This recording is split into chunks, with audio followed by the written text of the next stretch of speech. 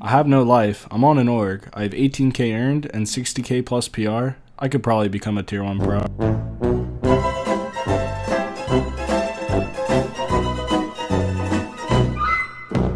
Yo, what is up, boys? It's Jayth. Welcome back to another episode of Road to Tier 1 Pro. Uh, today's episode, we're going to be looking at a solo cash cup where CBear uh, placed third, and he had four wins in a row here. With um, three of the wins, he had, um, or two of the wins, he had one kill, and one of the win, he had three kills. Um, and I just thought that was really interesting, and I've never had time to look at these games and see what he was doing.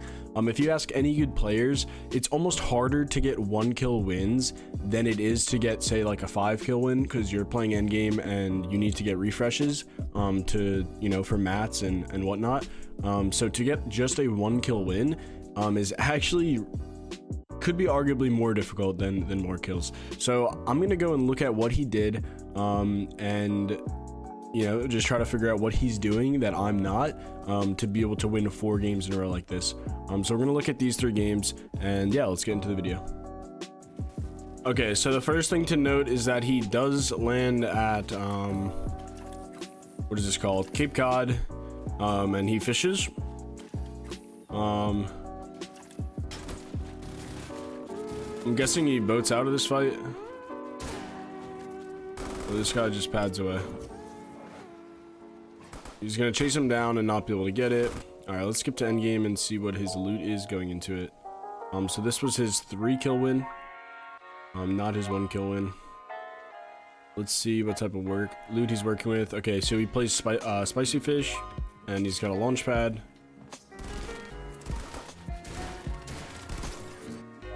Oh, this.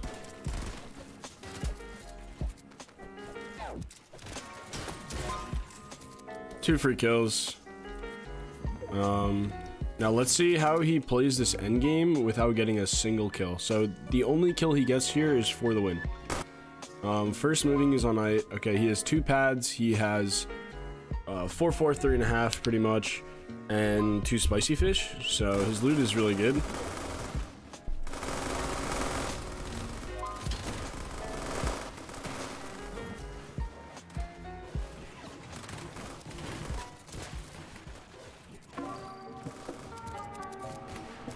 Okay, looks like he's gonna play height.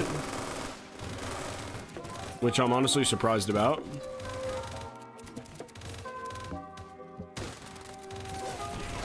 He's doing a lot of damage here, but he can't seem to find any kills. He still has two spicy fish as well. So I'm guessing that this game he's pretty much just gonna ride hideout. And then he kills the last guy.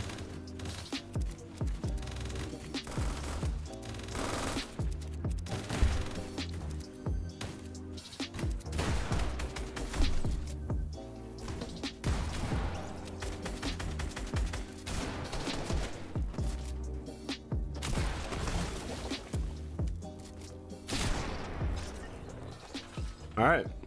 Uh, nothing special there, really. I mean, he just played height. Um, he didn't even use a spicy fish to take height. Um, so let's look at the one kill win games and see what he does in this. Okay, game number two, he's at the same drop spot. Um, I'm assuming he's gonna start fishing. Oh my god, his only kill here was off spawn, I just realized. So he doesn't even get a kill for the entirety of endgame. I'm gonna skip right to the endgame here. Um, let's look at his loot going into half zone. Okay, he's got three pads and a chug jug cannon. But no kills.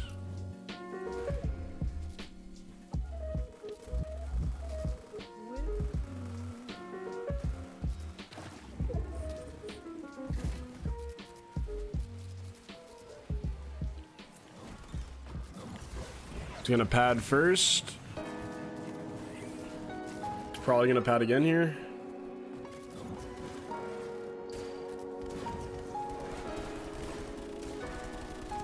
Looks like he's looking to chop hideout.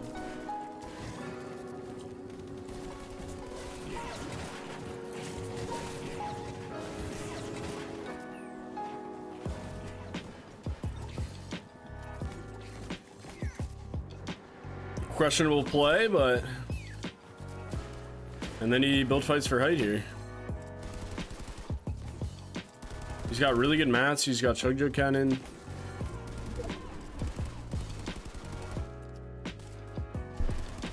He might just ride out height for this whole game. That's probably what happens. He's got plenty of ammo. From the llama, I'm assuming.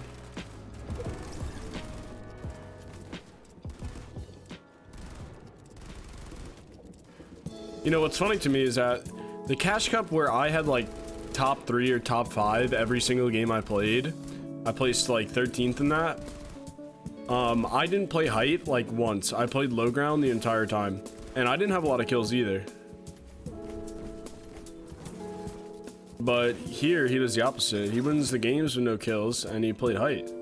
That was a one kill win. It's pretty interesting.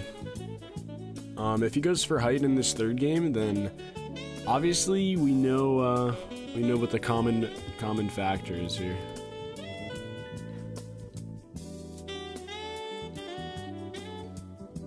To be honest, when I was uh, when I was going through or when I was planning on making this video, I thought he was going to be using aliens, spicy fish, hop floppers, um, and I thought he was going to be playing like low ground and just using his mats. And like that that's kind of what I pictured here. I did not expect him to just be kind of cranking for height and using his his builds um until they ran out. I can't believe he gets one kill wins, two of them in a row. That's kind of absurd. Okay, going into endgame here, his loot is nothing special at all. He has one pad and six minis. Um, I'm guessing he's probably going to reuse a pad here to save his. He's actually getting hit by Storm Surge, too. Yeah, he's popped all of his minis now. He's still getting hit by Storm Surge. Or no, he's not anymore. Okay. Now he's got 116 health.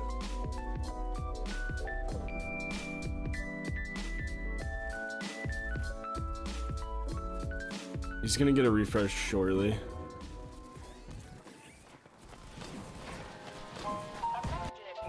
Let's see how he gets this kill here.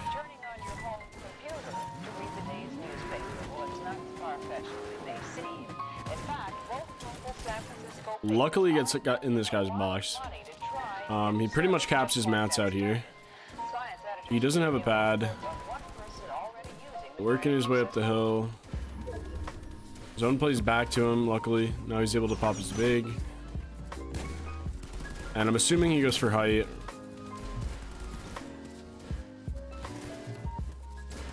No, he doesn't. I thought for sure he was gonna go for height.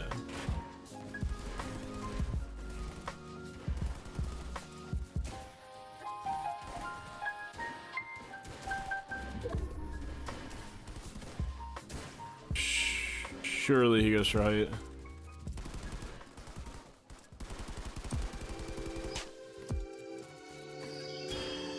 Actually, chops height. He doesn't get the kill for it, though.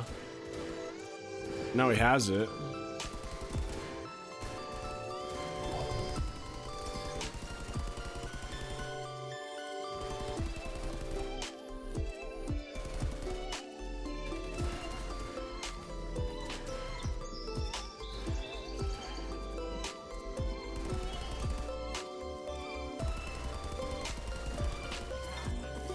Not to be uh, not to be like a CBear hater or anything but I honestly don't believe a tournament like this could happen uh, two times in a row. I don't think this is like I don't think this is consistent. I mean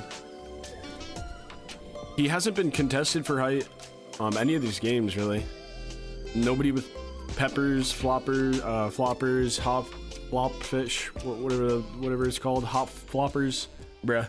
No one has contested him. No one's padded on him so I think I think he got a little bit lucky in terms of um, nobody contesting him height.